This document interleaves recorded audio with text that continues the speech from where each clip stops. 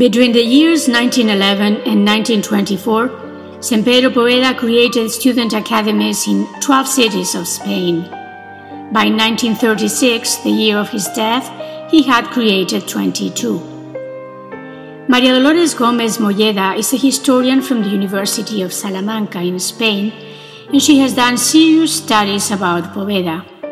She considers that his initiative of the academies of Saint Teresa which he set up in key places of the Spanish geography, are an example of what he calls his prophetic intuition at responding to the needs of the times. Prophetic, she explains, because he chose to rely on protagonists that the church or society had never considered before. Él busca unos apoyos absolutamente inéditos para, para hacer, para realizar su proyecto. Se apoya nada menos que la figura del seglar contemporáneo. Piensa que los seglares, los seglares pueden desempeñar en, en la iglesia y en la sociedad un papel único y que es el momento de, de, de, desarrollar ese papel. Es que además se apoya en seglares mujeres, en mujeres seglares, mejor dicho. Pero ¿qué era la mujer en tiempo de don Pedro? La mujer era una figura absolutamente anodina y borrosa detrás del hombre, todos lo sabemos. En cuanto a saber, poquito. En cuanto a vivir, poquito. En cuanto a figurar, poquito. Fijaos que estamos a 50 años del Vaticano, ¿eh? del Vaticano, y sin embargo don Pedro piensa que son una fuerza que hay que potenciar. Si hasta entonces la Iglesia era como una fortaleza que se defendía de los ataques de la sociedad, don Pedro decide que hay que salir de esa fortaleza y que hay que ir a la sociedad civil, no quedarse en reductos privados de escuela o de partido o de grupito, sino que hay que dar la batalla, dice él, allí donde nos cita. Estoy refiriéndome a, a, ese, a esta idea del padre de, de, de penetración, de, de fundirse con la gente, de ser sal. With the passage of time, the academies began by Poveda became the educational centers of today in Europe. The schools, university residences, colegios mayores, and the socio-educational projects for non-formal education. The expansion of this educational movement was taking place not only in Spain. It extended to America in 1928 to Europe in the 30s and 50s. It reached Africa in the 40s and Asia in the 50s. For historical reasons, Spain is the country where the larger number of members live and work. One can find members of the association in all the provinces of Spain. The corporative works include six university residences, six colegios mayores, 22 schools, and 33 socio-educational projects in rural and urban areas. There is a pedagogical bookstore, the NGO Interred, and the Critica magazine, which constitutes a tradition began with the first news bulletin of the TA, began in 1913. Since 1969, the Instituto de Estudios Pedagógicos Somosaguas, known as IEPS, has fostered educational renewal in Spain and even beyond its borders. The Castro Verde Foundation, through its Covadonga project, carried out in the year of 2001 a three year program of renewal and updating of all the schools run by the Teresian Association in Spain. In the year 2000, the TA created the Pedro Poveda Chair through the agreements between the Pontifical University of Salamanca, UPSA, and the Teresian Association. Its purpose is to promote the study of Pedro Poveda and of his writings as well as research, teaching, and knowledge of two topics that center a great part of his energies priestly ministry and dialogue between faith and modern culture. In 2010, the TA has created the chair of Josefa Segovia Mysticism and Lay Spirituality, in the CITES University of Mysticism of the Carmelite Friars in Avila, Spain. The Teresian Association arrived in Italy in 1934 when Pedro Poveda was still alive. From its early years, it began incorporating young professionals from the field of education, medicine, and the arts, working in state schools and at the university level. Corporatively, the members run a university residence in Rome and another one in Perugia. In Vescovillo, close to the Marian Shrine, they have a center for spirituality. In Milan, they run a pedagogical center Poveda. In Rossano, the volunteer program Insieme. And in Ferrara a Scuola Materna. They are also present in Palermo. The presence of the Teresian Association began in Portugal in 1945. The members are educators in state schools and other in other professions. They live in Lisboa, Coimbra, and Porto. They run cultural activities and they also run programs to support immigrants. In 1947, Josefa Segovia, then first president of the Teresian Association, sent a group of members to London to study English and Mandarin in order to prepare their future mission in China. But the bamboo curtain became a reality in 1949, and China was closed off to the outside world. Plans had to be changed, and some in the group remained in England, thus beginning the TA presence in London Soon they opened a finishing school, which for almost 50 years has received foreign students eager to learn the English language. It is not currently open. Already in 1928, with Pedro Poveda still alive, 40 members of the Teresian Association were sent in the month of June to be part of an evangelizing project of catechesis in the French cities of Lyon, Grenoble, Montpellier, and Nimes. But it was not until 1953 that the former presence of the Teresian Association was established in France. Some professional Catholic women joined the association in the following years. They have established a university residence in Paris, and they have established an open space for cultural events and pastoral activities. The first members of the Teresian Association arrived in Germany in 1955 other German Catholics have joined the association since. And besides the exercise of their profession as educators at various universities, corporatively they run the University Residence Teresianum. The Cardinal Archbishop of Munich, Joseph Ratzinger, a Pope Benedict XVI, visited the residence in 1980. He not only spoke to the members of the TA, he also personally greeted each of the student residents at the time. The arrival of the first TA members in Belgium in 1957 had a very specific objective. They would teach Spanish to the priests being prepared for mission experience in Latin American countries. During years, they also ran a university residence, now closed.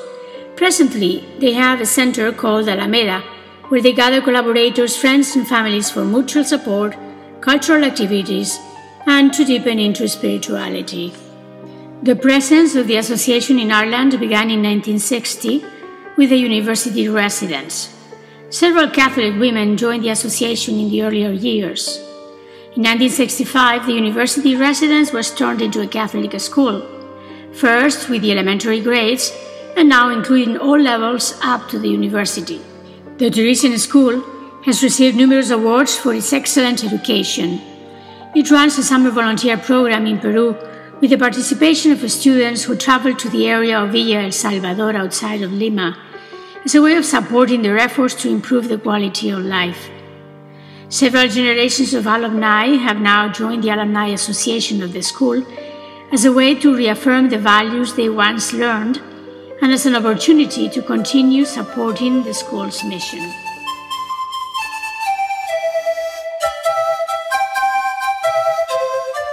A black and white photograph kept in the historical archives of the Teresian Association marks the moment when the initiative begun by San Pedro Poveda is about to expand beyond Spain and into a new continent. The photograph was taken in 1928 when Pedro Poveda and Josefa Segovia traveled to Cádiz in southern Spain in order to say goodbye to Ángeles Obrón, Carmen Fernández Ortiga, and Jacoba Sanz, who were about to embark towards Chile in the ship Reina Victoria of the Spanish Transatlantic Company. Their mission would be to take charge of the normal school Santa Teresa in Santiago de Chile, thus beginning the presence of the association in America. The seed of this initiative had been planted by Carmen Cuesta in 1926. It was then that she traveled to several countries in the continent as part of an expedition organized by the Spanish Catholic Action as a gesture of closer Hispanic American relationships. She visited Uruguay, Argentina, and Chile, and she made contact with Adela Edwards and her normal school Santa Teresa. It was the same educational center that two years later would be the first mission field of the Teresian Association in the American continent. Twenty years after the black and white photo had been taken aboard the ship in the Cadiz harbor, Josefa Segovia was beginning a trip to the continent, but she traveled in an airplane. It was 1949, and her trip lasted almost six months. She visited the countries where the Teresian Association was present through 20 educational centers in Chile, Argentina, Uruguay, Bolivia, and Peru. During the next decades, the mission of the TA in America continued to expand. After Chile in the 30s, it reached Argentina and Uruguay. In the 40s, it was Bolivia and Peru. In the 50s, Mexico, Brazil, Venezuela, Dominican Republic, and the United States. It reached Colombia in the 1961 and Guatemala 10 years later.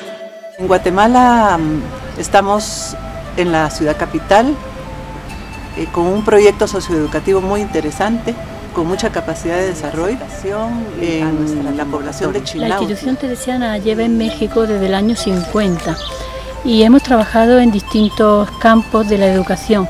En León, Guanajuato, hay dos centros. Uno es el Centro de Derechos Humanos, poniendo un énfasis especial en los derechos de las mujeres. Y en coordinación con este centro tenemos un, un centro de educación primaria Vamos a empezar con secundaria. By 2010, the Teresian Association in America has extended its presence to universities, private and state educational centers, to the field of health and socioeducational projects. Some of its members collaborate in pastoral initiatives of the church in local communities. Corporatively, the Teresian Association directs 14 educational centers 16 social projects, and four university residences. Based in Brazil, the NGO Nueva America organizes workshops and publishes the magazine of the same name, as well as books and pamphlets in the field of education and human rights. In the Dominican Republic, the Poveda Cultural Center supports the educational updating of state teachers involved in transformational educational processes. The center has developed a program for the improvement of the educational quality in Dominican Republic through the formation of the teachers in the public system. This program is funded by the NGO Interred and the Junta de Comunidades de Castilla-La Mancha. It is a program being implemented in two areas of the country with different objectives. All the projects and initiatives of the TA in the continent, as well as the professional performance of members, follow the inspiration of a socio-educational proposal known by the name To Educate in Difficult Times. This proposal articulates the pedagogical ideas of Pedro Poveda as applied to today. The socio-educational movement is also growing at the continental level as a way of joining and inspiring people in other professions who want to offer to society a transforming and humanizing witness. This wide movement has already gathered groups in various countries, including the United States, the TA members carry out educational and pastoral activities and have two social educational projects in Chicago and Miami. The TA presence in Miami had begun in the 60s of the 20th century, responding to a request from the local bishop in order to attend to thousands of Cubans fleeing the island after the Castro Revolution. During 23 years since 1986, direct contacts were made visiting Cuba, and in 1909, the Bishop of Holguin offered the TA the possibility of collaborating in the formation of the laity initially with workshops for educators, communicators, and theology for the laity. Local Catholics have joined the TA and are making present in Cuba the charism of Pedro Poveda.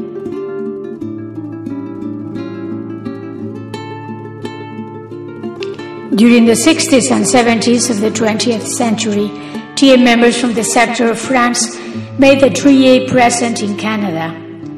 In the 90s, Filipino members from the US delegation working in Canada began contacting alumni and ASID members who had emigrated to that country.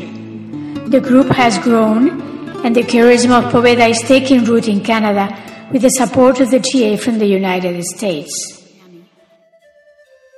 67 years have passed since the Division Association arrived in Bolivia. Its members direct two educational centers in the capital, La Paz, and one in Santa Cruz. And they also run a university residence in Cochabamba. To support the high percentage of the indigenous population, we have created socio-educational projects in La Paz, Santa Cruz, Cochabamba, and in the district of Titicachi, San Alfonso de las Muñecas. The project of Titicachi has been selected to receive a special support from the TA as a solidarity gesture in 2011 first centennial anniversary of the beginnings of the Teresian Association. The Teresian Association arrived in Uruguay in 1939. It has created a university residence in the capital, Montevideo. Its educational centers were created in 1960.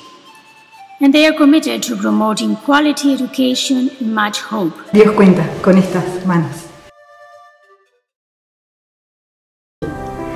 living the vision and charism of Father Poveda. A vision that gave the laity a mode of life very much inserted in the structures of this world, living the gospel and transforming it from within.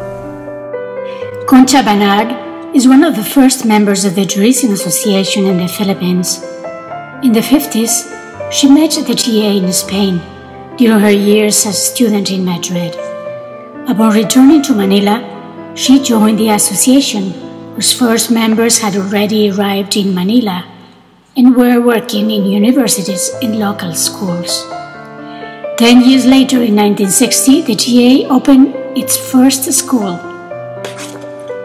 In 1974, the school changed name to Poveda Learning Center and after the canonization of the founder in 2003, with the expansion into tertiary education, the name of the school was changed to San Pedro Poveda College.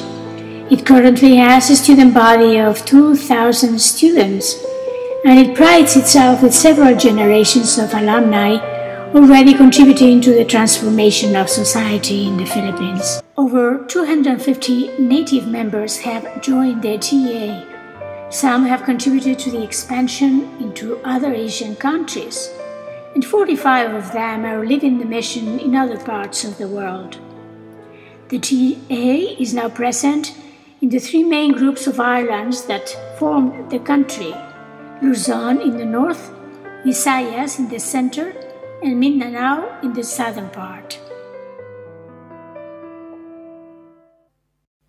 Some of the corporate works of the TA in the Philippines include San Pedro Poveda College, three university residences in the main islands in Manila, Iloilo, and Cagayan de Oro, two centers of spirituality and culture, the Poveda House of Prayer in Tagaytay and the Covadonga Center of Culture and Spirituality in Cagayan de Oro in Mindanao.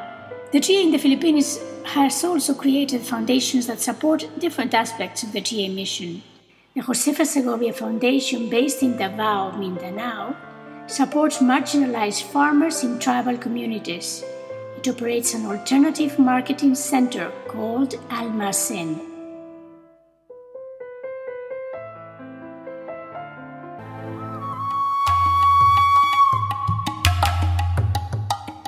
The Teresian Association arrived in Jerusalem in 1952.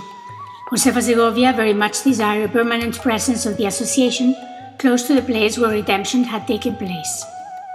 The TA has remained in Jerusalem and has extended its presence to Bethlehem and to Amman, Jordan, where they run the Pontifical Mission Library for the Palestinians that live in the city.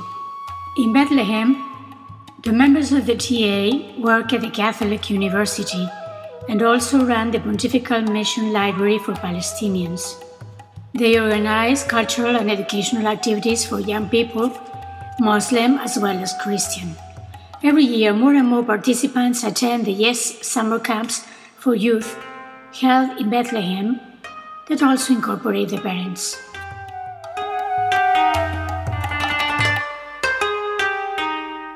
It was 1959 when the first TA members arrived in Japan.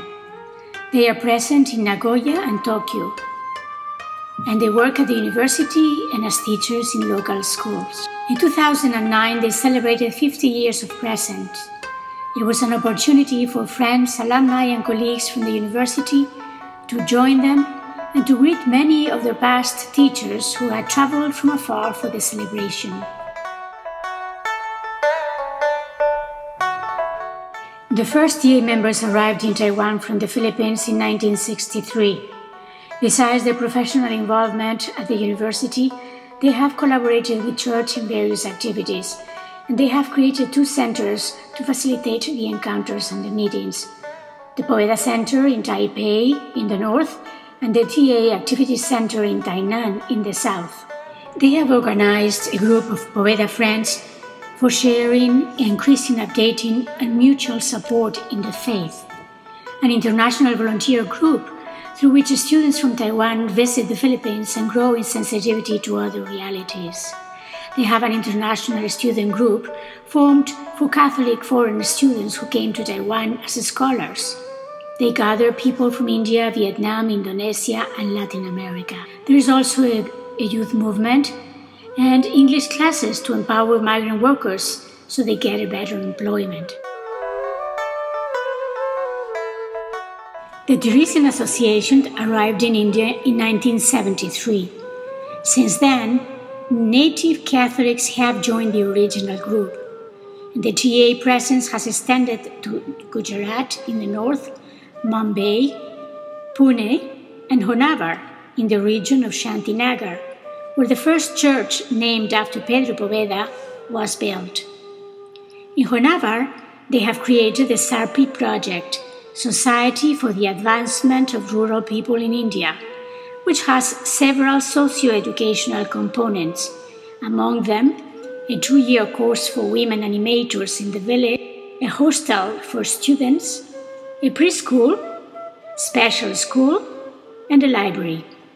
Lately, they have begun making kurtas, Indian blouses. The proceeds of the sales support the projects. In my regions, we have uh, a lot of Catholics because of the greater population that we have in India.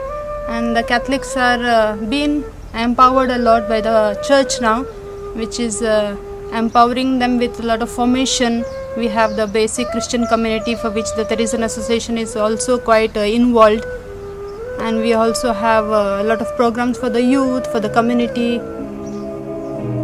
Since the arrival of the Teresian Association in the African continent in 1941, a significant number of African Catholics have joined the TA mission. They are present with activities in Equatorial Guinea, Democratic Republic of Congo. Cuando Pedro Poveda empezó en 1911 era así una cosa pequeñita en, el, en, en el, aquel España, pero ahora está en 30 países. Para nosotros es muy importante poder ahora ver cómo eh, desplegar nuestra vocación, cómo eh, hacer entender a, las, a, la otra persona el carisma nuestro y vivir nuestra vocación a tope y poder comunicar la alegría de la vocación a un laico en el mundo. The TA presence in Equatorial Guinea began in 1941. It was then that Luis Aquero, Cristina Pascual, and other TA members began working in Bata, the continental area then known as Rio Muni. They also reached out to the island of Bioko, then known as Fernando Po, and in the capital, Malabo, they established primary schools. In 1969, Equatorial Guinea obtained independence from Spain and suffered a wave of repression under the dictator Francisco Macias. TA members not from Guinea had to leave the country in a hurry. Ten years later, in 1979, some TA associates from Spain returned to the country as teachers from the Spanish Education Ministry. Maria Dolores Moreno, Ángeles Ruiz Rea, and Josefina Corvillo settled in Malabo. Since then, other African Catholics have joined in the mission and are involved in social change through their profession, mostly in education, in the field of health, and participating in the political process. In Malabo, the Teresian Association runs the school Virgen María de África and the Poveda Center for the Formation of Teachers. They have created the Castro Verde Medical Laboratory that offers affordable and reliable clinical tests to the population. They also collaborate in pastoral initiatives of the local church. Paul Mabsang is a team member in Guinea and is well acquainted with recent events in the country. He studied aeronautic engineering in Madrid, Spain, and held a job at the State Office of General Transport and Civic Aviation. His children attended the school of the TA in Malabo, and he would every day take them and pick them up from school. The TA members invited him to attend some cultural activities. It was then that I began my formation to become a member of the Teresian Association, and I discovered what I continue to like that in the TA, nobody's asked to put on a uniform. I found that everything was done with simplicity. It was a very normal presence in the midst of the people. At that time, we were distributing water in Campo Yaounde, and the TA was starting its first grade schools. Now I am in the main opposition party. In the reality of Equatorial Guinea, the TA has achieved more than other groups that came with powerful means. The TA charism has shown its strength through weakness. The TA has always been with us. It had to go, but it came back and it remains with us. It has done much in a very short time. Our group is formed by the adults, the young people, and children. And all of us share in an experience that makes us feel part of a family. If we're grateful, we should offer this possibility to those who will continue. I am sure that everyone would give the best to make it possible that others may live this. This is why I am sure that as we celebrate this centenary, there will be 200 more years. Por eso estoy seguro de los 200 años. The Teresian Association arrived in the Democratic Republic of Congo in 1964. In the capital, Kinshasa, the members have created the project Banaya Poveda for children of the streets. They also have set up the Karibuni Library. Some 3,000 miles from the capital in Kikwit, they have established the Victoria Dia project with various components the formation of educators, a library open to the public, and the residence for students from the nearby villages. Laurentin Lumbunji is director of this residence. necesidad muy urgente ahí en mi país es la formación de las mujeres. Es por eso el empeño que tenemos ahí, de tener, cuidar muy bien la residencia de las chicas. Cuando terminan ahí, sean gente muy importante para la sociedad, porque tenemos una, un lema que es cambia tú misma y tu entorno va a cambiar contigo. Y en este sentido trabajamos. La enseñanza es una vocación y lo vivo ahora con mucha intensidad. Aprende mucho con Pedro Poveda. Con dulzura se educa, con dulzura. Así que esas son palabras que me tocan mucho en el corazón. Y esto de hacer siempre mmm, al día, la cabeza en el momento presente, esto me habla mucho. Mirar la realidad de hoy y poder dar respuesta como lo dio Pedro Poveda en Guadix. Es el esfuerzo que estoy yo haciendo. He encontrado ahí una manera de vivir, de vivir a fondo mi vocación.